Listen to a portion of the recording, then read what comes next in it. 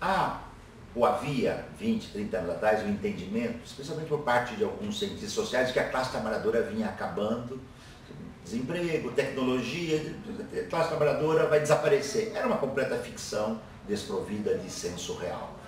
Eu vinha dizendo então que era preciso que nós compreendêssemos as mudanças profundas que o capitalismo vinha sofrendo, a financiarização da economia, o neoliberalismo, a reestruturação produtiva em escala global, porque desta nova fábrica e nova empresa que eh, aflora no final do século XX e início do século XXI, ela vai requerer um novo tipo de classe trabalhadora, que em parte se assemelha, se assemelha à classe trabalhadora do século XX ou do XIX, mas em outra parte é completamente diferente. Por exemplo, não havia o trabalhador ou a trabalhadora, ou a trabalhadora das tecnologias de informação e comunicação, né? dos celulares, dos computadores. Nasceu uma massa de trabalhadoras, por exemplo, do call center, telemarketing, né? É, hipermercados, como nós temos hoje, e tantas outras profissões que não existiam hoje, antes.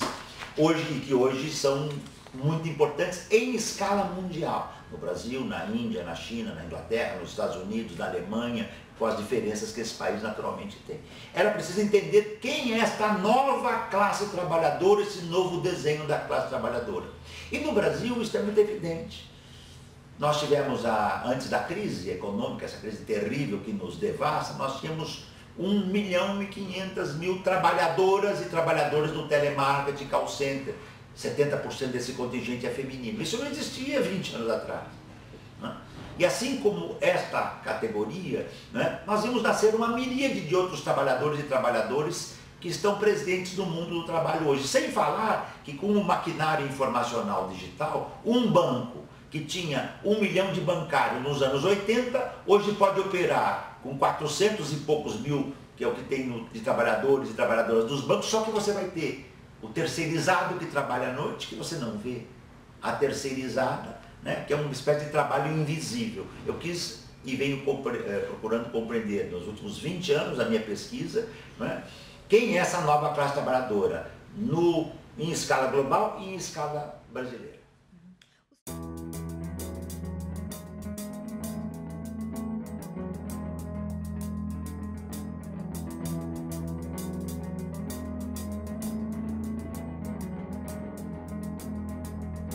Quando essas mudanças começaram a ocorrer, a partir dos anos 70 do século passado, nos países capitalistas avançados, nos Estados Unidos, nos países europeus, no Japão, é? É, o comando desta, deste mundo era já um comando diferenciado do período anterior. Quem passa a ter a hegemonia no cenário mundial, da riqueza mundial, é o mundo financeiro. E o mundo financeiro, aí não é possível ter meias palavras, ele é profundamente destrutivo em relação ao trabalho. O mundo financeiro, no topo dele, é o capital fictício perambulando pelos mundos né, e extraindo recursos de onde pode, e na esfera basal da produção, tá certo? O, o, sistema financeiro sabe que no seu lado da produção ele não pode eliminar a classe trabalhadora, mas ele pode depauperá-la, devastá-la, corroê-la e desfigurá-la. Este é o mundo financeiro e é o modo como este mundo financeiro consegue o trabalho. De tal modo que eu escrevi em 1990 o meu livro, 1995, o meu livro Adeus ao Trabalho. Lá se vão 16, não mais, 21, 22 anos, tá certo? 95 para 2017, 22 anos. Em 99 escrevi o meu livro Sentidos do Trabalho. O que, que eu dizia lá? Estas mudanças que vinham ocorrendo em escala global, tá? e também, naturalmente, no mundo globalizado, você está dentro ou fora dele, mas participa de algum, em alguma dimensão.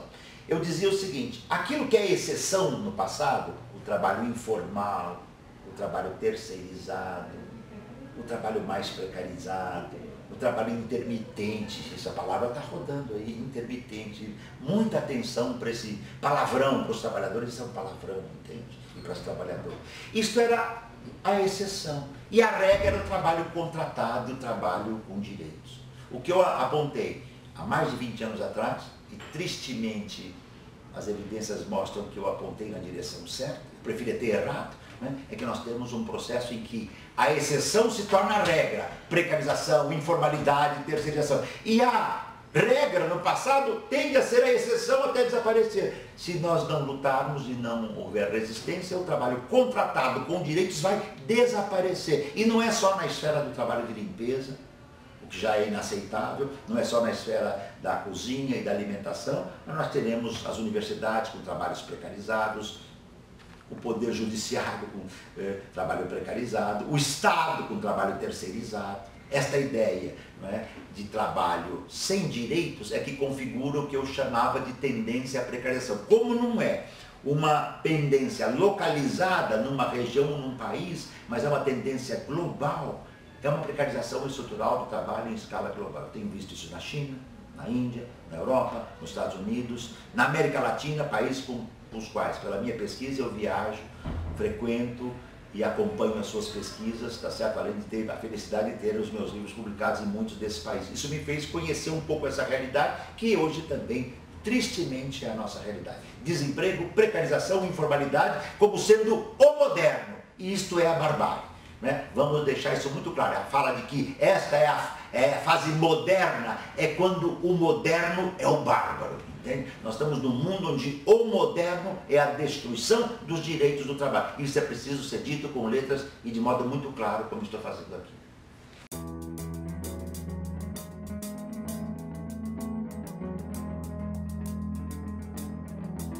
Estamos no período mais difícil, mais duro, mais complicado da história social do trabalho no Brasil, desde o pós-30. Nós estamos num processo de devastação há uma tríade que sustenta é, este movimento, tá certo, do atual governo. Né? Sem entrar aqui num debate óbvio, que é um governo que não tem legitimidade das urnas, bastaria dizer isso, ele tem um tripé. O tripé se funda, primeiro, em que o negociado passa a ter dominação sobre o legislado. Isso significa o seguinte, se um trabalhador ou uma trabalhadora, um grupo de trabalhadores numa empresa, com a faca com o punhal no pescoço e, o, e a faca no coração, for perguntar, você quer ficar desempregado ou quer reduzir salário e jornada? Ele vai dizer, eu aceito reduzir jornada de trabalho. E isso quebra a CLT. Porque os direitos fundamentais da classe trabalhadora serão quebrados e depois não voltam. Porque se você inverte a legislação social protetora do trabalho do Brasil, é uma luta fazer com que haja uma legislação social mínima protetora de todos, você vai quebrar isso.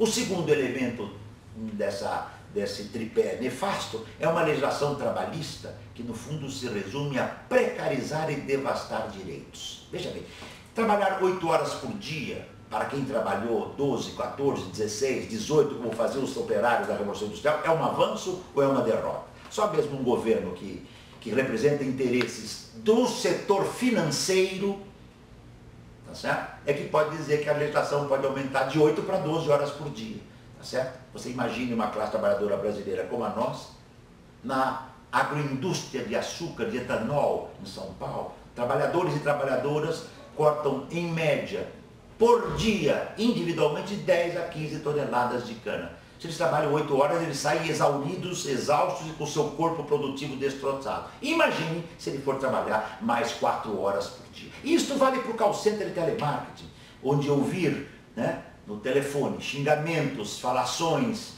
né, ter o tempo médio de operação, né, o adoecimento do ouvido, o adoecimento eh, da garganta, a impossibilidade de levantar para ir ao banheiro porque você tem um tempo para cumprir. Tudo isso faz com que essas medidas não são modernas, mas elas são destrutivas.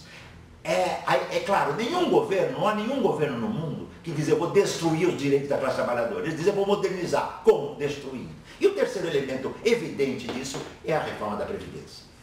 65 anos para homens e mulheres, mas será que as mulheres trabalham iguais, a, ter a mesma jornada que os homens? Não, nós sabemos que as mulheres têm dupla jornada quando não tripla. Então já começa por aí, você vai equalizar quando há uma desigualdade substantiva. Dois, é verdadeiramente é, é, é, brutal você imaginar que você precisa ter 49 anos de pagamento de previdência sem um dia e desemprego para que o indivíduo possa se aposentar com 65 anos de idade mínima. Ele tem que começar a trabalhar com 16 anos. Se ele for trabalhar com 16, começar a trabalhar com 16 anos, e não tiver um dia de desemprego, ele aposenta com 65. Como a realidade brasileira é do desemprego, na verdade, essa reforma da Previdência quer levar a classe trabalhadora brasileira do trabalho para o cemitério.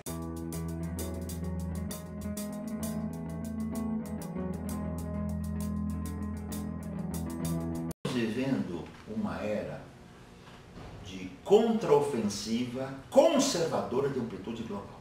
Nós tivemos em 2008, 2009, 2010, 2011, 2012 um momento que parecia que o mundo avançava positivamente. As rebeliões do Oriente Médio, o fim de muitas ditaduras, né? manifestações na Espanha, manifestações na Inglaterra, Occupy Wall Street nos Estados Unidos, né? houve é, rebeliões na Grécia, houve muitas manifestações positivas. De 2013 para cá, o cenário da crise aprofundou-se, especialmente em países como o nosso, mas não só. E o que, que aconteceu?